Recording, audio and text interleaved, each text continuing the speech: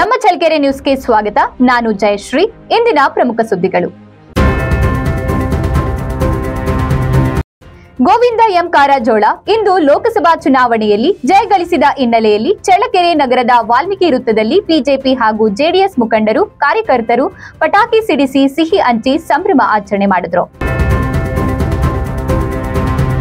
ವಿಶ್ವ ಪರಿಸರ ದಿನಾಚರಣೆ ಅಂಗವಾಗಿ ನಗರದ ಸರ್ಕಾರಿ ಪದವಿ ಪೂರ್ವ ಕಾಲೇಜಿನ ಎನ್ಎಸ್ಎಸ್ ಘಟಕದ ವತಿಯಿಂದ ಸಸಿ ನೆಡುವ ಮೂಲಕ ವಿಶ್ವ ಪರಿಸರ ದಿನವನ್ನ ಆಚರಿಸಲಾಯಿತು. ಚಳ್ಳಕೆರೆ ನಗರದ ಸಹ್ಯಾದ್ರಿ ಶಿಕ್ಷಣ ಸಂಸ್ಥೆಯ ವತಿಯಿಂದ ವಿಶ್ವ ಪರಿಸರ ದಿನಾಚರಣೆ ಅಂಗವಾಗಿ ಪರಿಸರ ಜಾಥಾ ಕಾರ್ಯಕ್ರಮವನ್ನ ಹಮ್ಮಿಕೊಳ್ಳಲಾಗಿತ್ತು. ಪರಿಸರ ಅನ್ನೋದು ಭೂಮಿಯ ಒಂದು ಮುಖ್ಯ ಅಂಗ. ಇಂತಹ ಪರಿಸರವನ್ನ ಇತ್ತೀಚಿನ ದಿನಗಳಲ್ಲಿ ಮನುಷ್ಯ ನಾಶ ಮಾಡುತ್ತಿದ್ದಾನೆ. ಇದರಿಂದ ಆಮ್ಲಜನಕ ಕೊರತೆ ಉಂಟಾಗುತ್ತಿದೆ ಎಂದು ಸಿವಿಲ್ ನ್ಯಾಯಾಧೀಶರಾದ ಶಮೀರ್ ಪಿ. ನಂದ್ಯಾಳ್ ವಿಶ್ವ ಪರಿಸರ ದಿನಾಚರಣೆಯ ಅಂಗವಾಗಿ ಹಮ್ಮಿಕೊಳ್ಳಲಾಗಿದ್ದ ಕಾರ್ಯಕ್ರಮದಲ್ಲಿ ತಿಳಿಸಿದರು. ಚಳ್ಳಕೆರೆ ನಗರದ ತಾಲೂಕು ಪಂಚಾಯಿತಿ ಸಭಾಂಗಣದಲ್ಲಿ ಇಂದು ನಡೆದ ಪ್ರಗತಿ ಪರಿಶೀಲನಾ ಸಭೆಯಲ್ಲಿ ಇಒ ಲಕ್ಷ್ಮಣ್ ಮಾತನಾಡಿ, ಎಲ್ಲಾ ಇಲಾಖೆಯ ಅಧಿಕಾರಿಗಳು ಕಾಲಕಾಲಕ್ಕೆ ತಂತ್ರಾಂಶದಲ್ಲಿ ಮಾಹಿತಿಯನ್ನ ಅಳವಡಿಸಬೇಕು ಎಂದು ತಿಳಿಸಿದರು. ಬಿತ್ತನೆಗೆ ಸಿದ್ಧ ಮಾಡಿದ್ದ ಜಮೀನಿನಲ್ಲಿ ನಿಂತ ಮಳೆ ನೀರು. ಜಮೀನಿನಲ್ಲಿ ನೀರು ನಿಂತಿರುವುದರಿಂದ ಬಿತ್ತನೆಗೆ ತೊಂದರೆಯಾಗುತ್ತಿದೆ ಎಂದ ರೈತರು. ಇಡೀ ದೇಶದಲ್ಲಿ ಮೊಟ್ಟ ಮೊದಲ ಬಾರಿಗೆ ಐತಿಹಾಸಿಕ ತೀರ್ಪನ್ನ ನೀಡಿದ ಚಿತ್ರದುರ್ಗ ಜಿಲ್ಲೆಯಲ್ಲಿ ಮೊದಲ ಬಾರಿಗೆ ಕಮಲ ಅರಳಿದೆ. ಕೆರೆಗೆ ನೀರು ಅರಿದು ಬರುವುದನ್ನ ನೋಡಲು ತಾಳ್ಯ ಹಾಗೂ ಸುತ್ತಮುತ್ತಲಿನ ಗ್ರಾಮಸ್ಥರು ಛತ್ರಿ ಹಿಡಿದು ಕೆರೆ ಬಳಿ ಬಂದು ಜಮಾಯಿಸಿದ್ದರು. ಮರುಸ್ಥಾಪನೆ, ಮರುಭೂಮೀಕರಣ ಹಾಗೂ ಬರ ತಡೆಯುವಿಕೆ ಎಂಬ ಘೋಷವಾಕ್ಯದೊಂದಿಗೆ ಈ ಬಾರಿ ಪರಿಸರ ದಿನಾಚರಣೆ ಆಚರಿಸಲಾಗುತ್ತಿದೆ ಎಂದ ಪರಿಸರ ಅಧಿಕಾರಿ ಇ ಪ್ರಕಾಶ್. ಬಯಲು ಸೀಮೆಯಲ್ಲಿ ಮಳೆರಾಯನ ಆರ್ಭಟಕ್ಕೆ ಅಳ್ಳಕೊಳ್ಳಗಳು ಭರ್ತಿಯಾಗಿ ಜನಜೀವನ ಅಸ್ತವ್ಯಸ್ತವಾಗಿದೆ. ಪರಿಸರ ಜಾತಕ್ಕೆ ಚಾಲನೆ ನೀಡಿದ ಎಡಿಸಿ ಕುಮಾರಸ್ವಾಮಿ. ಭೂ ಮರುಸ್ಥಾಪನೆ ಮರುಭೂಮೀಕರಣ ಹಾಗೂ ಬರ ತಡೆಯುವಿಕೆ ಎಂಬ ಘೋಷವಾಕ್ಯದೊಂದಿಗೆ ಈ ಬಾರಿ ಪರಿಸರ ದಿನಾಚರಣೆ ಆಚರಿಸಲಾಗುತ್ತಿದೆ ಎಂದು ಪರಿಸರ ಅಧಿಕಾರಿ ಪ್ರಕಾಶ್ ತಿಳಿಸಿದರು. ಅವರು ಚಿತ್ರದುರ್ಗದಲ್ಲಿ ಪರಿಸರ ದಿನಾಚರಣೆಯಲ್ಲಿ ಮಾತನಾಡಿದ್ರು. ಅಪರ ಜಿಲ್ಲಾಧಿಕಾರಿ ಬಿಟಿ ಕುಮಾರಸ್ವಾಮಿ ಹಾಗೂ ನಗರಸಭೆ ಆಯುಕ್ತ ಎಂ ರೇಣುಕಾ ಜಾಥಾ ಕಾರ್ಯಕ್ರಮಕ್ಕೆ ಹಸಿರು ನಿಶಾನೆ ತೋರುವುದರೊಂದಿಗೆ ಚಾಲನೆ ನೀಡಿದ್ರು. ಇನ್ನು ಪ್ರತಿ ತಾಲೂಕಿನಲ್ಲಿ ಹತ್ತು ಸಾವಿರ ಗಿಡ ನೆಡಲು ಯೋಜನೆ ರೂಪಿಸಿದೆ. ಅರಣ್ಯ ನಾಶದಿಂದ ಪರಿಸರದ ಮೇಲೆ ಪ್ರತಿಕೂಲ ಪರಿಣಾಮ ಉಂಟಾಗುತ್ತಿದೆ. ಇದನ್ನು ತಡೆಗಟ್ಟಲು ಕಾನೂನು ಸೇವಾ ಪ್ರಾಧಿಕಾರವು ಅರಣ್ಯ ಇಲಾಖೆ ಸಹಯೋಗದಲ್ಲಿ ಜಿಲ್ಲೆಯ ಪ್ರತಿ ತಾಲೂಕಿನಲ್ಲಿ ಹತ್ತು ಸಾವಿರ ಗಿಡ ನೆಡಲು ಯೋಜನೆ ರೂಪಿಸಿದೆ ಎಂದು ಹಿರಿಯ ಸಿವಿಲ್ ನ್ಯಾಯಾಧೀಶ ಎಂ ವಿಜಯ್ ಹೇಳಿದ್ರು. ನಗರದ ಒನಕೆ ಓಬವ್ವ ವೃತ್ತದಲ್ಲಿ ವಿಶ್ವ ಪರಿಸರ ದಿನಾಚರಣೆ ಅಂಗವಾಗಿ ಜಿಲ್ಲಾ ಕಾನೂನು ಸೇವೆಗಳ ಪ್ರಾಧಿಕಾರ ಜಿಲ್ಲಾಡಳಿತದ ಸಹಯೋಗದಲ್ಲಿ ಆಯೋಜಿಸಲಾದ ಪರಿಸರ ಜಾಥಾಕ್ಕೆ ಚಾಲನೆ ನೀಡಿ ಮಾತನಾಡಿದ್ರು.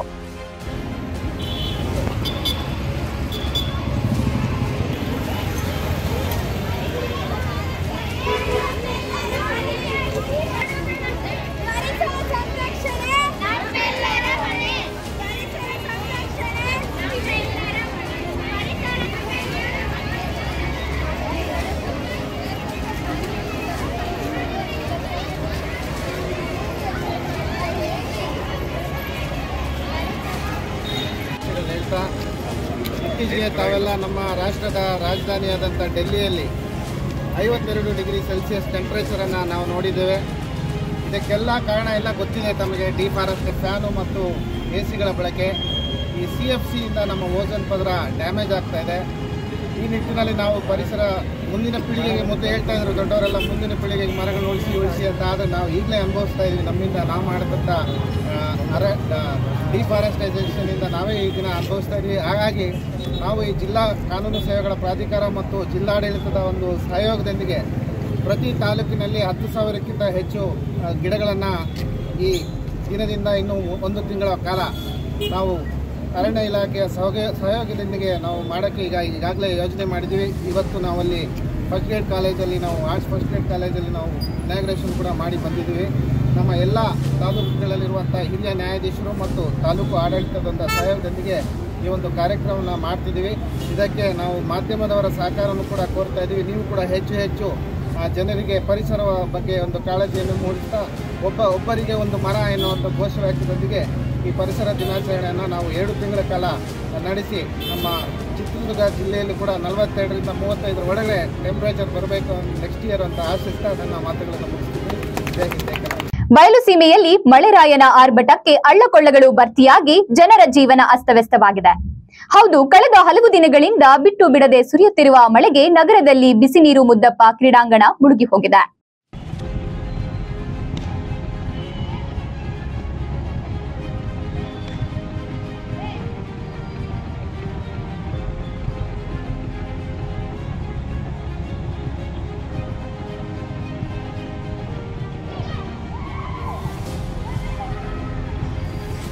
ಇನ್ನು ಚಿತ್ರದುರ್ಗ ರಸ್ತೆಯ ಎಸ್ ಆರ್ ರಸ್ತೆಗೆ ಹೋಗುವ ದಾರಿ ಪಕ್ಕದಲ್ಲಿ ಮಳೆ ನೀರು ನಿಂತು ಮುಂದೆ ಹೋಗದೆ ದೊಡ್ಡ ಹೊಂಡದಂತೆ ನಿರ್ಮಾಣವಾಗಿದೆ.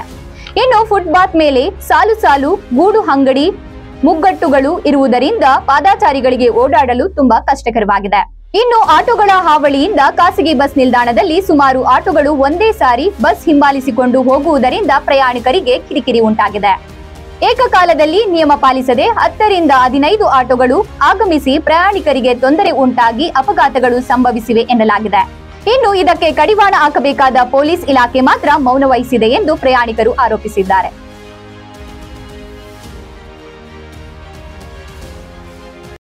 ಇಡೀ ದೇಶದಲ್ಲಿ ಮೊಟ್ಟ ಮೊದಲ ಬಾರಿಗೆ ಐತಿಹಾಸಿಕ ತೀರ್ಪನ್ನ ನೀಡಿದ ಚಿತ್ರದುರ್ಗ ಜಿಲ್ಲೆಯಲ್ಲಿ ಮೊದಲ ಬಾರಿಗೆ ಕಮಲ ಅರಳಿದೆ.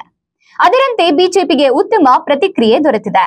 ಚಿತ್ರದುರ್ಗ ಲೋಕಸಭಾ ಕ್ಷೇತ್ರ ವ್ಯಾಪ್ತಿಯಲ್ಲಿ ಎಂಟು ವಿಧಾನಸಭಾ ಕ್ಷೇತ್ರಗಳಿವೆ. ಈ ಪೈಕಿ ಏಳು ಕ್ಷೇತ್ರಗಳನ್ನ ಕಾಂಗ್ರೆಸ್ ಶಾ- ಶಾಸಕರು ಪ್ರತಿನಿಧಿಸಿದ್ದಾರೆ. ಎನ್ ವೈ ಗೋಪಾಲಕೃಷ್ಣ ಪ್ರತಿನಿಧಿಸುವ ಮೊಳಕಾಲ್ಮೂರು ಹಾಗೂ ಟಿ. ರಘುಮೂರ್ತಿ ಪ್ರತಿನಿಧಿಸುವ ಚಳ್ಳಕೆರೆ ಹೊರತುಪಡಿಸಿ ಉಳಿದ ಎಲ್ಲೆಡೆ ಕಾಂಗ್ರೆಸ್ಗಿಂತ ಬಿಜೆಪಿಗೆ ಹೆಚ್ಚು ಮತಗಳು ಸಿಕ್ಕಿವೆ. ಜಿಲ್ಲಾ ಉಸ್ತುವಾರಿ ಸಚಿವ ಡಿ. ಸುಧಾಕರ್ ಶಾಸಕ ಬಿಜಿ ಗೋವಿಂದಪ್ಪ ಹಾಗೂ ಹೊಸದುರ್ಗ ವಿಧಾನಸಭಾ ಚುನಾವಣೆಯಲ್ಲಿ ಉತ್ತಮ ಪ್ರತಿಕ್ರಿಯೆ ಸಿಕ್ಕಿದೆ ಎಂದು ಹೇಳಿದರು ನಮ್ಮ ಪಕ್ಷದ ರಾಷ್ಟ್ರೀಯ ನಾಯಕರು ಮತ್ತು ರಾಜ್ಯ ನಾಯಕರು ಚಿತ್ರದುರ್ಗ ಜಿಲ್ಲೆಯ ನಮ್ಮ ಪಕ್ಷದ ಅಧ್ಯಕ್ಷರು, ಪದಾಧಿಕಾರಿಗಳು ಮತ್ತು ಮಾಜಿ ಶಾಸಕರು, ಅನೇಕರೆಲ್ಲರೂ ಸೇರಿ ಚಿತ್ರದುರ್ಗಕ್ಕೆ ಗೋವಿಂದ ಕಾರಜೋಳ ಅವ್ರನ್ನೇ ಅಭ್ಯರ್ಥಿ ಮಾಡಬೇಕು ಅಂಥೇಳಿ ನಿರ್ಧಾರ ಮಾಡಿ ನನ್ನನ್ನು ಅಭ್ಯರ್ಥಿ ಮಾಡಿದ್ರಿಂದ ನಾನು ಸಮಯ ಇರಲಿಲ್ಲ. ನಾಮಿನೇಷನ್ ಕೊಡಲಿಕ್ಕೆ ಮಾತ್ರ ನಾನು ಚಿತ್ರದುರ್ಗಕ್ಕೆ ಬಂದೆ. ನಮ್ಮ ಎರಡೂ ಪಕ್ಷದ, ಭಾರತೀಯ ಜನತಾ ಪಕ್ಷ ಮತ್ತು ಜನತಾದಳದ ಕಾರ್ಯಕರ್ತರು ಭಾಳ ದೊಡ್ಡ ಪ್ರಮಾಣದಲ್ಲಿ ಶಕ್ತಿಯನ್ನು ಹಾಕಿ ನನ್ನನ್ನು ಇವತ್ತು ಗೆಲ್ಲಿಸಿದ ದೇಶದ ಜನರ ಆಸೆ ಮತ್ತು ಚಿತ್ರದುರ್ಗದ ಜನರ ಆಸೆ ಇತ್ತು. ನರೇಂದ್ರ ಮೋದಿಜಿಯವರೇ ಮತ್ತೊಮ್ಮೆ ಪ್ರಧಾನಮಂತ್ರಿ ಆಗಬೇಕು ಅಂತ ಜನ ಇವತ್ತು ನರೇಂದ್ರ ಮೋದಿಜಿಯವರ ಹತ್ತು ವರ್ಷದ ಆಡಳಿತವನ್ನು ನೋಡಿ ಮೂರನೇ ಬಾರಿಗೆ ಬಹುಮತವನ್ನು ಇವತ್ತು ತಂದು ಕೊಟ್ಟಿದ್ದಾರೆ. ನಾನು ಈ ಸಂದರ್ಭದಲ್ಲಿ ನಮ್ಮ ಪಕ್ಷದ ವರಿಷ್ಠರಿಗೆ, ರಾಜ್ಯದ ನಾಯಕರುಗಳಿಗೆ ಚಿತ್ರದುರ್ಗ ಲೋಕಸಭಾ ಕ್ಷೇತ್ರದ ಎಲ್ಲ ವಿರೋಧ ಇಲ್ಲ. ಕೆಲವರಿಗೆ ತಮಗೆ ಟಿಕೆಟ್ ಬೇಕಾದಿದ್ದರಿಂದ ವಿರೋಧ ಮಾಡಿದರೆ ಹೊರತು ಪಕ್ಷದ ಅಧ್ಯಕ್ಷರು, ಪದಾಧಿಕಾರಿಗಳು ಮತ್ತು ಮಾಜಿ ಶಾಸಕರು ಜಿಲ್ಲೆಯ ಹಿರಿಯರು, ಗೋವಿಂದ ಕಾರಜೋಳನ ನಲವತ್ತು ವರ್ಷದಿಂದ ನಾವು ನೋಡಿದ್ದೀವಿ. ಅನೇಕ ಸುಮಾರು ಇಪ್ಪತ್ತು ವರ್ಷಗಳಿಂದ ಮಂತ್ರಿಯಾಗಿ ಕೆಲಸ ಮಾಡಿರ್ತಕ್ಕಂಥವ್ರು, ಮೂವತ್ತು ವರ್ಷಗಳಿಂದ ಶಾಸಕರಾಗಿ ಕೆಲಸ ಮಾಡಿರ್ತಕ್ಕಂಥವ್ರು. ಮತ್ತು ಇಲ್ಲಿ ಈ ಜಿಲ್ಲೆಗೆ ಕೆಲವು ದೊಡ್ಡ ಯೋಜನೆಗಳನ್ನ ಅದು ಮಾಡಿಕೊಟ್ಟದ್ದು ಎಲ್ಲರಿಗೂ ನೆನಪಿತ್ತು. ಹೀಗಾಗಿ ಒಬ್ಬ ಒಳ್ಳೆ ಅಭ್ಯರ್ಥಿ ನಮಗೆ ಸಿಕ್ಕಿದ್ದಾರೆ ಅವ್ರನ್ನ ಗೆಲ್ಲಿಸ್ಬೇಕಂತ ಅಂತಕ್ಕಂಥ ಮನಸ್ಥಿತಿ ಎಲ್ಲರಿಗೂ. ಹೀಗಾಗಿ ನನಗೆ ಆಶೀರ್ವಾದ ಚಳ್ಳಕೆರೆ ನಗರದ ತಾಲೂಕು ಪಂಚಾಯಿತಿ ಸಭಾಂಗಣದಲ್ಲಿ ಇಂದು ನಡೆದ ಪ್ರಗತಿ ಪರಿಶೀಲನಾ ಸಭೆಯಲ್ಲಿ ಇಒ ಲಕ್ಷ್ಮಣ್ ಮಾತನಾಡಿದ್ರು. ತಾಲೂಕಿನ ಸುಮಾರು ನಲವತ್ತು ಗ್ರಾಮ ಪಂಚಾಯಿತಿಗಳ ಅಭಿವೃದ್ಧಿ ಅಧಿಕಾರಿಗಳು ಇಂದು ತಾಲೂಕು ಮಟ್ಟದ ಎಂಟು ಇಲಾಖೆಗಳ ಯೋಜನೆಗಳನ್ನ ಹಾಗೂ ಪ್ರಸ್ತುತ ದಿನವಹಿಗಳನ್ನ ತಂತ್ರಾಂಶಕ್ಕೆ ಸೇರಿಸಬೇಕು. ಒಂದು ವೇಳೆ ಆಯಾ ಇಲಾಖೆಯವರು ತಂತ್ರಾಂಶದಲ್ಲಿ ಸೇರಿಸಲು ವಿಫಲರಾದರೆ ಖುದ್ದಾಗಿ ಗ್ರಾಮ ಪಂಚಾಯಿತಿ ಅಭಿವೃದ್ಧಿ ಅಧಿಕಾರಿಗಳು ಮಾಹಿತಿ ಪಡೆದು ವರದಿಯನ್ನ ತಂತ್ರಾಂಶದಲ್ಲಿ ಸೇರಿಸಬೇಕು ಎಂದರು. ಇನ್ನು ಗ್ರಾಮ ಪಂಚಾಯಿತಿ ಯೋಜನಾಧಿಕಾರಿ ಕೆಂಚಪ್ಪ ಮಾತನಾಡಿ, ಶಿಕ್ಷಣ ಇಲಾಖೆ, ಪೊಲೀಸ್ ಇಲಾಖೆ ಪಶುಸಂಗೋಪನಾ ಇಲಾಖೆ, ಕಂದಾಯ ಇಲಾಖೆ, ಆರೋಗ್ಯ ಇಲಾಖೆ ಹೀಗೆ ಹಲವು ಇಲಾಖೆಗಳ ವರದಿಗಳನ್ನ ಕಾಲಕಾಲಕ್ಕೆ ತಂತ್ರಾಂಶದಲ್ಲಿ ಅಳವಡಿಸಬೇಕು ಎಂದು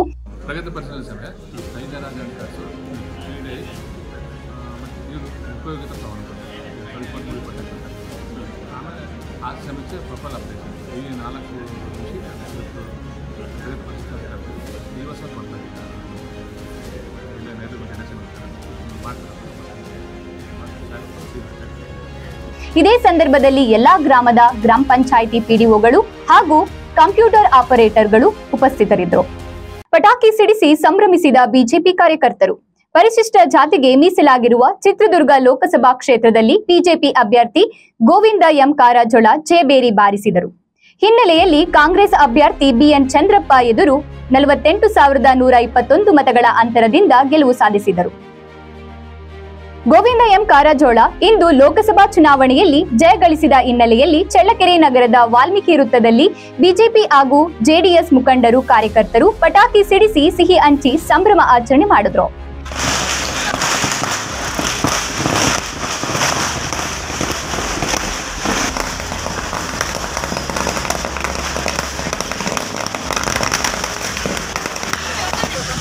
ಈ ವೇಳೆ ಜೆಡಿಎಸ್ ಮುಖಂಡ ಎಂ ರವೀಶ್ ಕುಮಾರ್ ಬಿಜೆಪಿ ಮುಖಂಡ ಅನಿಲ್ ಕುಮಾರ್ ಜೆಡಿಎಸ್ ತಾಲೂಕು ಅಧ್ಯಕ್ಷ ಟಿ ತಿಪ್ಪೇಸ್ವಾಮಿ ಮಾತನಾಡಿದ್ರು. ಹೇಳಬೇಕು.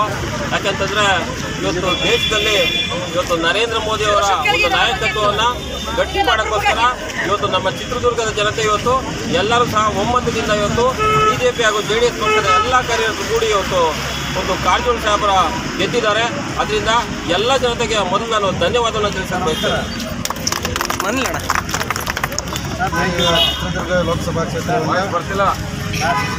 ನರೇಂದ್ರ ಮೋದಿ ಅವರು ಕೈ ಬಲಪಡಿಸಲಿಕ್ಕೋಸ್ಕರ ಏನೆಲ್ಲ ನಾವು ಬಿ ಜೆ ಪಿನವರು ಜಾತ್ಯತೀತ ಜನತಾದಳವರು ಒಟ್ಟಿಗೆ ಕೆಲಸ ಮಾಡಿದ್ವಿ ಅದು ಫಲ ನೀಡಿದೆ ಇವತ್ತು. ನರೇಂದ್ರ ಮೋದಿಯವರು ಮುಂದೆ ಇನ್ನೊಂದು ಎರಡು ಮೂರು ದಿವಸದಲ್ಲಿ ಮತ್ತೆ ಮೂರನೇ ಬಾರಿಗೆ ಪ್ರಧಾನಿಯಾಗಿ ಅಧಿಕಾರ ವಹಿಸ್ತಾರೆ. ಅವರಿಗೆ ಕಾರಜೋಳರವರು ಬೆಂಬಲ ಕೊಡ್ತಾರೆ. ಎಲ್ಲ ಬೆಂಬಲವನ್ನು ನೀಡಿದಂತಹ ನಮ್ಮ ಚಳ್ಳಕೆರೆ ಜನತೆಗೆ ಕೈ ಮುಗಿದು ಅವರಿಗೆ ನಮಸ್ಕಾರ ಮಾಡ್ತಾ ನಮ್ಮ ಜಾತ್ಯತೀತ ಜನತಾದಳ ಮತ್ತು ನಮ್ಮ ಏನು ಭಾರತೀಯ ಇವತ್ತು ಬಿ ಜೆ ಪಿ ಪಕ್ಷದ ಎಲ್ಲ ಮುಖಂಡರುಗಳು, ನಮ್ಮ ತಾಲೂಕು ಜೆ ಡಿ ಎಸ್ ಎಲ್ಲ ಮುಖಂಡರುಗಳು, ತಾಲೂಕಾದ್ಯಂತ ಮತ್ತು ಜಿಲ್ಲೆಯಾದ್ಯಂತ ಎಲ್ಲ ಜೆ ಡಿ ಎಸ್ನವರು ಬಿ ಜೆ ಪಿಯವರು ಅತಿ ಹೆಚ್ಚಿನದಾಗಿ ಇವತ್ತು ನಮ್ಮ ಪಕ್ಷಕ್ಕೆ ಎಲ್ಲರೂ ಶ್ರಮಪಟ್ಟು ಇವತ್ತು ಕೆಲಸ ಮಾಡಿದ್ದೀವಿ. ಅದರ ಪ್ರಕಾರ ಅದರ ಒಂದು ಏನು ನೇತೃತ್ವದೆಲ್ಲ ವಹಿಸಿದಂಥ ನಾಯಕರಿಗೆ ಇವತ್ತು ನಮ್ಮ ಏನು ಕಾರಜೋಳ ಸಾಹೇಬರು ಗೆದ್ದಿದ್ದಾರೆ. ಗೆದ್ದು ಇವತ್ತು ನಮ್ಮ ನರೇಂದ್ರ ಮೋದಿ ಮೂರನೇ ಬಾರಿ ಇವತ್ತು ಪ್ರೈಮ್ ಮಿನಿಸ್ಟರ್ ಎಲ್ಲ ಸಪೋರ್ಟ್ ಇಡೀ ಎಂಟೈರ್ ನಮ್ಮ ಇಂಡಿಯಾ ಇವತ್ತು ಮುಂದೆ ನುಗ್ಗಿ ಬರ್ತೈತೆ. ಈ ಏನಿದೆ ಕೇವಲ ನಾಲ್ಕೈದು ದಿವಸ ಒಳಗಡೆ ಮೋದಿ ಅವರಿಗೆ ಅವತ್ತು ದಿವಸ ನಾವೆಲ್ಲರೂ ದೊಡ್ಡ ಹಬ್ಬ ಅಂತಾನೆ ಆಚರಿಸ್ಬಿಟ್ಟು ನಮ್ಮ ತಾಲೂಕಲ್ಲಿ ನಾವು ನಡಿ ಮಾಡ್ತೀವಿ ಅಂತ ಹೇಳಿ ಹೇಳ್ತೇವೆ. ಈ ಸಂದರ್ಭದಲ್ಲಿ ಬಿಜೆಪಿ ಜಿಲ್ಲಾ ಉಪಾಧ್ಯಕ್ಷರಾದ ರಾಮದಾಸ್ ಬಿಜೆಪಿ ತಾಲೂಕು ಅಧ್ಯಕ್ಷ ಸೂರನಹಳ್ಳಿ ಶ್ರೀನಿವಾಸ್ ಬಿಜೆಪಿ ಮುಖಂಡ ಜಯಪಾಲಯ್ಯ, ಬಸವರಾಜ್ ಸೇರಿದಂತೆ ಬಿಜೆಪಿ ಹಾಗೂ ಜೆಡಿಎಸ್ ಕಾರ್ಯಕರ್ತರು ಹಾಜರಿದ್ದರು. ಬಿತ್ತನೆಗೆ ಸಿದ್ಧ ಮಾಡಿದ್ದ ಜಮೀನುಗಳಲ್ಲಿ ನಿಂತ ಮಳೆ ನೀರು. ಒಳಕೆರೆ ಕ್ಷೇತ್ರದ ಲಕ್ಷ್ಮಸಾಗರದಲ್ಲಿ ಮಳೆ ಸುರಿದಿದ್ದು ಕೆರೆಗೆ ನೀರು ಹರಿದು ಬಂದಿದೆ. ಸುಮಾರು ಒಂದು ಗಂಟೆಗೂ ಹೆಚ್ಚು ಕಾಲ ರಭಸವಾಗಿ ಮಳೆ ಸುರಿದು ಬಿಜಾಪುರ, ಲಕ್ಷ್ಮಸಾಗರ, ಬಳ್ಳೆಗಟ್ಟೆಯ ಹಳ್ಳದಲ್ಲೂ ನೀರು ಹರಿದಿದೆ. ಲಕ್ಷ್ಮಸಾಗರ, ಗೊಲ್ಲರಹಟ್ಟಿ, ಕಾಲ್ಕುಂಟೆ ಗ್ರಾಮಗಳ ಜಮೀನುಗಳಲ್ಲಿ ನೀರು ನಿಂತಿದೆ. ಬಿತ್ತನೆ ಪ್ರಾರಂಭಿಸಲು ರೈತರು ಜಮೀನನ್ನ ಹದ ಮಾಡಿ ಇಟ್ಟುಕೊಂಡಿದ್ದರು. ಜಮೀನುಗಳಲ್ಲಿ ನೀರು ನಿಂತಿರುವುದರಿಂದ ಬಿತ್ತನೆಗೆ ತೊಂದರೆಯಾಗಿದೆ ಎಂದು ರೈತರು ಹೇಳುತ್ತಾರೆ. ವಿಶ್ವ ಪರಿಸರ ದಿನಾಚರಣೆ ಅಂಗವಾಗಿ ನಗರದ ಸರ್ಕಾರಿ ಪದವಿ ಪೂರ್ವ ಕಾಲೇಜಿನ ಎನ್ಎಸ್ಎಸ್ ಘಟಕದ ವತಿಯಿಂದ ಸಸಿ ನೆಡುವ ಮೂಲಕ ವಿಶ್ವ ಪರಿಸರ ದಿನವನ್ನ ಆಚರಿಸಲಾಯಿತು. ಕಾಲೇಜಿನ ಪ್ರಾಚಾರ್ಯರಾದ ಎಂ ರವೀಶ್ ಮಾತನಾಡಿ, ಪ್ರಥಮ ಮತ್ತು ದ್ವಿತೀಯ ಪಿಯುಸಿ ವಿದ್ಯಾರ್ಥಿಗಳಿಗೆ ಪರಿಸರದ ಪ್ರಾಮುಖ್ಯತೆಯನ್ನ ತಿಳಿಸುತ್ತಾ ಮನೆಗೊಂದು ಮರ, ಊರಿಗೊಂದು ವನ ಬೆಳೆಸಬೇಕೆಂದು ತಿಳಿಸಿದರು. ಪ್ರತಿ ವರ್ಷ ಕಾಲೇಜಿನ ಆವರಣದಲ್ಲಿ ರಾಷ್ಟ್ರೀಯ ಸೇವಾ ಯೋಜನೆಯ ಘಟಕದ ವತಿಯಿಂದ ಗಿಡಗಳನ್ನ ನೆಟ್ಟು ಪೋಷಿಸುವುದರಿಂದ ಕಾಲೇಜಿನ ಆವರಣ ಇಂದು ಮುನ್ನೂರ ಐವತ್ತು ಮರಗಳನ್ನ ಹೊಂದಿರುವ ಪುಟ್ಟವನವಾಗಿ ರೂಪುಗೊಂಡಿದೆ. ಇದೇ ರೀತಿ ಎಲ್ಲಾ ವಿದ್ಯಾರ್ಥಿಗಳು ತಮ್ಮ ಮನೆಗಳ ಹತ್ತಿರ ಹಾಗೂ ಒಲೆಗಳಲ್ಲಿ, ಊರುಗಳಲ್ಲಿ ಗಿಡಗಳನ್ನ ನೆಡುವ ಮೂಲಕ ಬರಡು ಭೂಮಿಯಾದ ಚಳ್ಳಕೆರೆಯನ್ನ ಹಸಿರು ಭೂಮಿಯಾಗಿ ಬದಲಾಯಿಸುವುದು ನಮ್ಮೆಲ್ಲರ ಜವಾಬ್ದಾರಿ ಎಂದು ವಸಂತ್ ಕುಮಾರ್ ತಿಳಿಸಿದ್ದಾರೆ. ಈ ಕಾರ್ಯಕ್ರಮದಲ್ಲಿ ಎನ್ಎಸ್ಎಸ್ ಘಟಕದ ಕಾರ್ಯಕ್ರಮ ಅಧಿಕಾರಿ ಶಾಂತಕುಮಾರಿ ಬಿ, ಹಿರಿಯ ಉಪನ್ಯಾಸಕರು ಉಪಸ್ಥಿತರಿದ್ದರು.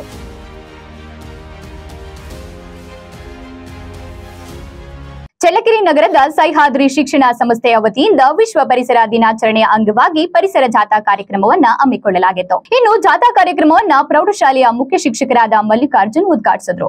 ನಗರದ ಪ್ರಮುಖ ಬೀದಿಗಳಲ್ಲಿ ಸಂಚರಿಸಿ ಸಾರ್ವಜನಿಕರಿಗೆ ಪರಿಸರದ ಜಾಗೃತಿ ಮೂಡಿಸುವ ಮೂಲಕ ಪ್ರಮುಖ ರಸ್ತೆಗಳಲ್ಲಿ ಘೋಷಣೆಗಳನ್ನ ಕೂಗುತ್ತಾ ಹರಿವು ಮೂಡಿಸಿದ್ರು.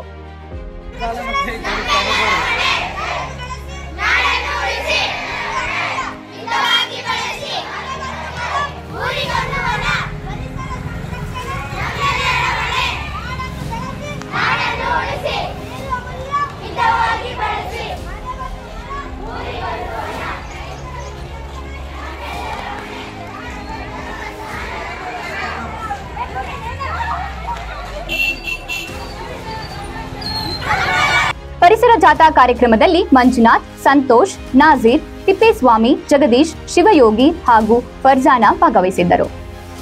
ಕೆರೆಗೆ ಅರಿತು ಬರುತ್ತಿರುವ ನೀರು ನೋಡಲು ಜಮಾಯಿಸಿದ್ದ ಗ್ರಾಮಸ್ಥರು. ಇಂದು ಮಧ್ಯಾಹ್ನ ಸತತ ಸುರಿದ ಮಳೆಗೆ ತಾಳಿಯ ಗ್ರಾಮದ ಕೆರೆಗೆ ಭಾರಿ ಪ್ರಮಾಣದಲ್ಲಿ ನೀರು ಅರಿದು ಬರುತ್ತಿದೆ. ಹೊಳಲ್ಕೆರೆ ತಾಲೂಕಿನಾದ್ಯಂತ ಕಳೆದ ಕೆಲವು ದಿನಗಳಿಂದ ಸತತ ಮಳೆ ಬೀಳುತ್ತಿದ್ದು, ತಾಳಿಯ ಗ್ರಾಮದ ಕೆರೆಗೆ ಅಕ್ಕಪಕ್ಕದ ಗ್ರಾಮದ ಹಳ್ಳಕೊಳ್ಳಗಳ ಮೂಲಕ ಭಾರಿ ಪ್ರಮಾಣದಲ್ಲಿ ಮಳೆ ನೀರು ಅರಿದು ಬರುತ್ತಿದೆ. ಕೆರೆಗೆ ನೀರು ಹರಿದು ಬರುವುದನ್ನ ನೋಡಲು ತಾಳ್ಯ ಹಾಗೂ ಸುತ್ತಮುತ್ತಲಿನ ಗ್ರಾಮಸ್ಥರು ಛತ್ರಿ ಹಿಡಿದು ಕೆರೆ ಬಳಿ ಬಂದು ಜಮಾಯಿಸಿದ್ದರು.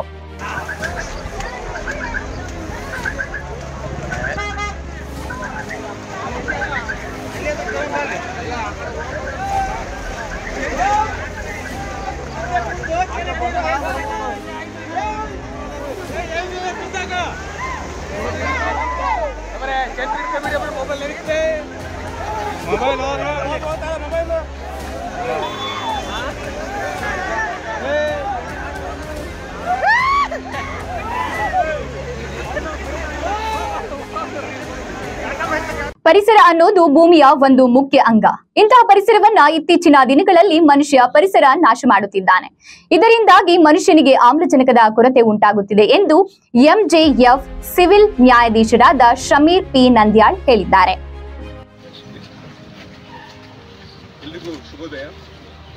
ಈ ದಿವಸ ನಾವು ತಾಲೂಕು ಕಾನೂನು ಸೇವಾ ಸಮಿತಿ, ವಕೀಲರ ಸಂಘ, ನಗರಸಭೆ ಹಾಗೂ ಅರಣ್ಯ ಇಲಾಖೆ ಚಳ್ಳಕೆರೆ ಸಂಯುಕ್ತಾಶ್ರಯದಲ್ಲಿ ಈ ಒಂದು ವಿಶ್ವ ಪರಿಸರ ದಿನಾಚರಣೆಯ ಕಾರ್ಯಕ್ರಮವನ್ನು ಹಮ್ಮಿಕೊಂಡಿದ್ದಾರೆ ಈ ಕಾರ್ಯಕ್ರಮಕ್ಕೆ ಉಪಸ್ಥಿತರಿರುವ ಗೌರವಾನ್ವಿತ ಪ್ರಧಾನ ಸಿವಿಲ್ ನ್ಯಾಯಾಧೀಶರಾದ ಶ್ರೀಮತಿ ತೇಜಸ್ವಿ ಕೆ ಅವರೇ, ಈ ಕಾರ್ಯಕ್ರಮದ ಅಧ್ಯಕ್ಷತೆಯನ್ನು ವಹಿಸಿಕೊಂಡ ವಕೀಲ ಸಂಘದ ಅಧ್ಯಕ್ಷರಾದ ಶ್ರೀ ಎಂ ನಾಗರಾಜ್ರವರೇ ಮುಖ್ಯ ಅತಿಥಿಗಳಾದ ಪೌರಾಯುಕ್ತರಾದ ಶ್ರೀ ಜೀವನ್ ಕಟ್ಟಿಮನಿರವರೇ ಹಿರಿಯ ಸಹಾಯಕ ಸರ್ಕಾರಿ ಅಭಿಯೋಜಕರಾದ ಶ್ರೀ ಮಂಜುನಾಥ್ರವರೇ ಶ್ರೀಮತಿ ಶಶಿಕಲಾರವರೇ ವಲಯ ಅರಣ್ಯಾಧಿಕಾರಿಗಳಾದ ಡಿ ಬೋಗುಣರವರೇ ವಕೀಲರ ಸಂಘದ ಪದಾಧಿಕಾರಿಗಳಾದ ಡಿ ಪಾಲಯ್ಯರವರೇ ಸಿದ್ದರಾಜುರವರೇ ಉದಯರವರೇ, ನಗರಸಭೆ, ಅರಣ್ಯ ಇಲಾಖೆ ಮತ್ತು ಎಲ್ಲ ನ್ಯಾಯಾಲಯದ ಸಿಬ್ಬಂದಿಗಳೇ ಹಾಗೂ ಎಲ್ಲ ವಕೀಲರೇ, ಸಾರ್ವಜನಿಕರೇ ಹಾಗೂ ಪತ್ರಿಕಾ ಮಿತ್ರರೇ. ನಮಗೆಲ್ಲರಿಗೂ ಗೊತ್ತಿರುವ ಹಾಗೆ ದಿವಸ ನಾವು ವಿಶ್ವ ಪರಿಸರ ದಿನ- ದಿನಾಚರಣೆಯನ್ನು ಆಚರಣೆ ಮಾಡ್ತಾ ಇದ್ದೇವೆ. ಈ ದಿನಾಚರಣೆ ಮಹತ್ವ ಏನಂತ ಹೇಳಿದ್ರೆ, ನಮ್ಮ ಪರಿಸರವನ್ನು ನಾವು ಹೇಗೆ ಉಳಿಸ್ಕೋಬೇಕು ಅನ್ನೋದ್ರ ಬಗ್ಗೆ ಒಂದು ಜಾಗೃತಿಯನ್ನ ಮೂಡಿಸುವ ಕಾರ್ಯಕ್ರಮವನ್ನು ಮಾಡಬೇಕಾಗಿ ಈ ದಿವಸ ನಾವು ಆಚರಣೆ ಮಾಡ್ತಾ ಇದ್ದೇವೆ. ಈ ದಿನಮಾನಗಳಲ್ಲಿ ತಮಗೆ ಗೊತ್ತಿದೆ ಇನ್ನು ಬೇಸಿಗೆ ಪೂರ ಕಳೆದಿಲ್ಲ ನಮ್ಮದು ಬೇಸಿಗೆಯಲ್ಲಿ ಎಷ್ಟು ಉಷ್ಣಾಂಶ ಹೇಗೆ ಇತ್ತು ಅಂತ ಎಲ್ರಿಗೂ ಗೊತ್ತಿದೆ. ಡೆಲ್ಲಿಯಲ್ಲಿ ನಲವತ್ತೈದರವರೆಗೂ ಉಷ್ಣಾಂಶ ಇತ್ತು. ಅದು ಯಾಕೆ ಆ ರೀತಿ ಆಗ್ತಾ ಇದೆ ಅಂತ ಹೇಳಿದ್ರೆ, ನಾವು ಏನು ಹೆಚ್ಚಿನ ಸಸಿಗಳನ್ನ ನೆಡುವ ಕೆಲಸ ಮಾಡ್ತಾ ಇಲ್ಲ. ನಮ್ಮ ಇರುವ ಅರಣ್ಯವನ್ನ, ಪರಿಸರವನ್ನ ಕಾಪಾಡ್ಕೊಳ್ತಾ ಇಲ್ಲ. ಸೊ ಆ ಒಂದು ಏನು, ಆ ಕಾರಣಕ್ಕೋಸ್ಕರ ಈಗ ಏನು ಉಷ್ಣಾಂಶ ಜಾಸ್ತಿ ಆಗ್ತಾ ಇದೆ. ಹೀಟ್ ಸ್ಟ್ರೋಕಿಂದಲೇ ಎಷ್ಟು ಜನ ಸಾವನ್ನಪ್ಪಿದ್ದಾರೆ ಅದು ಕೂಡ ತಮ್ಮೆಲ್ಲರಿಗೂ ಮಾಹಿತಿ ಇದೆ. ಸೊ ಈ ಒಂದು ಕಾರ್ಯಕ್ರಮದ ಮೂಲಕ ನಾವು ಹೇಳಲಿಕ್ಕೆ ಬಯಸಿದ್ದೇನೆ ಹೇಳಿದ್ರೆ, ನಮ್ಮ ಇರುವ ಪರಿಸರವನ್ನ ಹೆಚ್ಚಿನದಾಗಿ ನಾವು ಉಳಿಸ್ಕೋಬೇಕಾಗಿದೆ. ಇನ್ನೂ ಹೆಚ್ಚು ಸಸಿಗಳನ್ನು ನೆಡುವ ಕೆಲಸ ಮಾಡಬೇಕಾಗಿದೆ. ನಮ್ಮ ಏನು ಪೂರ್ವಜರಿಗೆ ಸಿಕ್ಕಂತಹ ಒಂದು ಒಳ್ಳೆಯ ಒಳ್ಳೆ ವಾತಾವರಣ ಆಗಲಿ, ಒಳ್ಳೆ ವಾಯು ಆಗಲಿ, ಅದು ನಮಗೀಗ ಸಿಗ್ತಾ ಇಲ್ಲ. ಅಟ್ಲೀಸ್ಟ್ ನಮಗೆ ಏನಿದೆ, ಅದನ್ನು ನಾವು ನಮ್ಮ ಮುಂದಿನ ಪೀಳಿಗೆಗೆ ಬಿಟ್ಟು ಹೋಗೋ ಉತ್ತರ ಜವಾಬ್ದಾರಿ ನಮ್ಮ ಮೇಲಿದೆ. ಆ ಒಂದು ದಿಸೆಯಲ್ಲಿ ಎಲ್ಲರೂ ಕೂಡ ಕೈ ಜೋಡಿಸೋಣ. ಪರಿಸರವನ್ನು ಉಳಿಸೋಣ ಅಂತೇಳಿ ಎಲ್ಲರೂ ಸೇರಿ ನಾವು ಪ್ರತಿಜ್ಞೆ ಮಾಡೋಣ ಈ ದಿವಸ. ಜೊತೆಗೆ ಇಲ್ಲಿ ಏನು, ಇತ್ತೀಚೆಗೆ ನಾವು ಇಲ್ಲಿ ನ್ಯಾಯಾಲಯಕ್ಕೆ ಬಂದಿದ್ದೇವೆ. ಇಲ್ಲಿ ವಾತಾವರಣ ನೋಡಿದರೆ ಈಗ ವಕೀಲ ಸಂಘದ ಅಧ್ಯಕ್ಷರು ಹೇಳ್ತಾ ಇದ್ರು, ಬಹುಶಃ ಅಲ್ಲಿ ನ್ಯಾಯಾಲಯದಲ್ಲಿ ಕೂಡ ಇಷ್ಟು ಒಂದು ಒಳ್ಳೆಯ ವಾತಾವರಣ, ಇಷ್ಟು ಗಿಡ ಮರಗಳು ಇರೋ ಪರಿಸರವನ್ನು ನಾವೆಲ್ಲೂ ಕಾಣುವುದಿಲ್ಲ. ಸದ್ಯಕ್ಕೆ ಇಲ್ಲಿ ಇಂಥ ಒಂದು ವಾತಾವರಣ ಇದೆ. ವಕೀಲರಾಗಲಿ, ಇಲ್ಲೆಲ್ಲ ಕಕ್ಷಿದಾರಾಗಲಿ, ನಾವು ಕೂಡ ಪುಣ್ಯ ಮಾಡಿದ್ದೇವೆ ಇಂಥ ಒಂದು ವಾತಾವರಣ ಪಡೀಲಿಕ್ಕೆ ಅಂತ ಹೇಳ್ತೇನೆ. ಅದಕ್ಕೆ ಏನು ಎಲ್ಲ ಪರಿಸರಕ್ಕೆ ಪರಿಸರ ಉಳಿಸ್ಕೊಳ್ಳೋದು ಇಲ್ಲಿ ಏನು ವಕೀಲರ ಸಂಘದ ಯೋಗದಾನ ಬಹಳ ಇದೆ. ಅದ್ರ ಜೊತೆಗೆ ನಮ್ಮ ನಗರಸಭೆ ಎಲ್ಲ ಸಿಬ್ಬಂದಿಗಳ ಸಹಯೋಗ ಮತ್ತು ಅರಣ್ಯ ಇಲಾಖೆ ಸಹಯೋಗ ಕೂಡ ಜಾಸ್ತಿ ಇದೆ. ಇದೇ ರೀತಿ ನಾವು ಇದು ಸಹಯೋಗನ ಮುಂದುವರಿಸ್ಕೊಂಡು ಹೋಗೋಣ ಅಂತ ಹೇಳ್ತಾ ಈ ಒಂದು ಕಾರ್ಯಕ್ರಮಕ್ಕೆ ತಾವೆಲ್ಲರೂ ಆಗಮಿಸಿದ್ದೀರಾ? ಕಾರ್ಯಕ್ರಮವನ್ನು ಯಶಸ್ವಿಗೊಳಿಸಿದ್ದೀರಾ? ನಮಗೆಲ್ಲರಿಗೂ ಕೂಡ ತಾಲೂಕು ಕಾನೂನು ಸೇವೆ ಸಮಿತಿಯಿಂದ ಧನ್ಯವಾದಗಳನ್ನು ಅರ್ಪಿಸ್ತೇನೆ. ಧನ್ಯವಾದಗಳು. ಇವರು ನಗರದ ನ್ಯಾಯಾಲಯದ ಆವರಣದಲ್ಲಿ ತಾಲೂಕು ಸೇವಾ ಸಮಿತಿ ಮತ್ತು ವಕೀಲ ಸಂಘ, ನಗರಸಭೆ ಮತ್ತು ಅರಣ್ಯ ಇಲಾಖೆಯ ಸಮಿತಿ ಸಂಯುಕ್ತ ಆಶ್ರಯದಲ್ಲಿ ವಿಶ್ವ ಪರಿಸರ ದಿನಾಚರಣೆ ಅಂಗವಾಗಿ ಗಿಡಕ್ಕೆ ನೀರು ಹಾಕುವ ಮೂಲಕ ಮಾತನಾಡಿದ್ರು. ಇತ್ತೀಚಿನ ದಿನಗಳಲ್ಲಿ ಮನುಷ್ಯ ತನ್ನ ಸ್ವಾರ್ಥಕ್ಕೋಸ್ಕರ ಮರ ಗಿಡಗಳನ್ನ ಕಡಿದು ಪರಿಸರ ನಾಶ ಪಡಿಸುತ್ತಿದ್ದಾನೆ ಈ ಹಿನ್ನೆಲೆಯಲ್ಲಿ ಪ್ರತಿಯೊಬ್ಬ ನಾಗರಿಕರು ಪರಿಸರ ಸಂರಕ್ಷಣೆ ಮಹತ್ವದಾಗಿರುತ್ತದೆ ಪರಿಸರದಿಂದ ಜಾನುವಾರುಗಳಿಗೆ, ಪಕ್ಷಿಗಳಿಗೆ ಆಹಾರ ದೊರೆಯುತ್ತದೆ. ಮನುಷ್ಯನ ಜೀವನಕ್ಕೂ ಕೂಡ ಪರಿಸರ ಬಹುಮುಖ್ಯ ಪಾತ್ರ ವಹಿಸುತ್ತದೆ. ಇಂತಹ ಪರಿಸರವನ್ನ ನಾಶಪಡಿಸದೆ ಹೆಚ್ಚಿನ ರೀತಿಯ ಮರಗಳನ್ನ ನೆಟ್ಟು ಪರಿಸರವನ್ನ ಕಾಪಾಡಬೇಕಾಗುತ್ತದೆ. ಪರಿಸರದಿಂದ ಮನುಷ್ಯನಿಗೆ ಆಮ್ಲಜನಕದ ಕೊರತೆ ಇರುವುದಿಲ್ಲ. ಇದರಿಂದಾಗಿ ಮನುಷ್ಯನ ಆರೋಗ್ಯವೂ ಕೂಡ ವೃದ್ಧಿಯಾಗಲು ಸಾಧ್ಯ ಎಂದು ತಿಳಿಸಿದ್ರು. ಇನ್ನು ಈ ಸಂದರ್ಭದಲ್ಲಿ ಜೆಎಂಎಫ್ಸಿ ಸಿವಿಲ್ ನ್ಯಾಯಾಧೀಶರಾದ ಕೆಎಂ ತೇಜಸ್ವಿನಿ ಮಾತನಾಡಿ ಇತ್ತೀಚಿನ ದಿನಗಳಲ್ಲಿ ಪರಿಸರ ಅನ್ನುವುದು ಮರೀಚಿಕೆಯಾಗಿದೆ. ಮನುಷ್ಯ ತಾನು ಬದುಕಲು ಪರಿಸರವನ್ನ ಹಾಳು ಮಾಡಿ ತನ್ನ ಸ್ವಾರ್ಥಕ್ಕೋಸ್ಕರ ಗಿಡಮರಗಳನ್ನ ನಾಶಪಡಿಸುತ್ತಿದ್ದಾನೆ. ಇದೇ ರೀತಿ ಮುಂದುವರೆದರೆ ನಾವು ಅಂಗಡಿಗೆ ಹೋಗಿ ರೇಷನ್ ಹೇಗೆ ತರುತ್ತೇವೋ ಅದೇ ರೀತಿಯಾಗಿ ಆಮ್ಲಜನಕವನ್ನ ಕೊಂಡುಕೊಳ್ಳಬೇಕಾಗುತ್ತದೆ. ಈ ಪರಿಸ್ಥಿತಿ ದೂರ ಇಲ್ಲ. ಇತ್ತೀಚಿನ ದಿನಮಾನಗಳಲ್ಲಿ ಮೂವತ್ತೆಂಟರಿಂದ ನಲವತ್ತೆರಡು ಡಿಗ್ರಿ ಸೆಲ್ಸಿಯಸ್ ಬಿಸಿಲು ಇದ್ದು, ಇಂತಹ ಬಿಸಿಲಿನಿಂದ ಮನುಷ್ಯ ಐರಾಣಾಗಿದ್ದಾನೆ ಇಂದಿನ ಕಾಲದ ಜನಗಳು ಪರಿಸರ ನಾಶ ಮಾಡ, ಮಾಡಲಿಲ್ಲ. ಇತ್ತೀಚಿನ ದಿನಮಾನಗಳಲ್ಲಿ ಪರಿಸರ ನಾಶ ಮಾಡಿ ನಮ್ಮ ಜೀವನ ಕಟ್ಟಿಕೊಳ್ಳುತ್ತಿದ್ದೇವೆ. ಇದನ್ನ ಬಿಟ್ಟು ಜನಸಾಮಾನ್ಯರು ಪರಿಸರ ಪ್ರೇಮಿಯಾಗಿ ಮರಗಿಡಗಳನ್ನ ಕಡಿಯದೆ, ಹೆಚ್ಚಿನ ರೀತಿಯಲ್ಲಿ ಪರಿಸರ ಸಂರಕ್ಷಿಸಿದರೆ ಹೆಚ್ಚಿನ ಮಟ್ಟದಲ್ಲಿ ಮಳೆಯಾಗುವ ಸಾಧ್ಯತೆ ಇದೆ. ಸಾರ್ವಜನಿಕರು ಇದನ್ನ ಅರಿತು ಪರಿಸರ ಬೆಳೆಸಿ, ಪರಿಸರ ಉಳಿಸಿ ಎಂಬ ಸಿದ್ಧಾಂತದಂತೆ ಪರಿಸರ ಕಾಪಾಡುವುದೇ ನಮ್ಮ ದಯೆ ಎಂದು ತಿಳಿದುಕೊಂಡು ಪರಿಸರ ಸಂರಕ್ಷಿಸಿ ಎಂದು ತಿಳಿಸಿದ್ರು. ಇನ್ನು ಈ ವೇಳೆ ವಲಯ ಅರಣ್ಯಾಧಿಕಾರಿ ಬಹುಗುಣ, ನಗರಸಭೆ ಪೌರಾಯುಕ್ತ ಜೀವನ್ ಕಟ್ಟಿಮನೆ, ವಕೀಲ ಸಂಘದ ಅಧ್ಯಕ್ಷ ನಾಗರಾಜ್, ವಲಯ ಅರಣ್ಯ ಅಧಿಕಾರಿ ನಿತಿನ್ ಮಾತನಾಡಿದ್ರು. ಇನ್ನು ಈ ಸಂದರ್ಭದಲ್ಲಿ ವಕೀಲರು ಸಂಘದ ಪ್ರಧಾನ ಕಾರ್ಯದರ್ಶಿ ಸಿದ್ದರಾಜು, ಶಶಿಕಲಾ, ಸಿ ಮಂಜುನಾಥ್ ರುದ್ರಯ್ಯ ಸೇರಿದಂತೆ ಅನೇಕ ವಕೀಲರು ಅರಣ್ಯ ಅಧಿಕಾರಿಗಳು ಹಾಜರಿದ್ದರು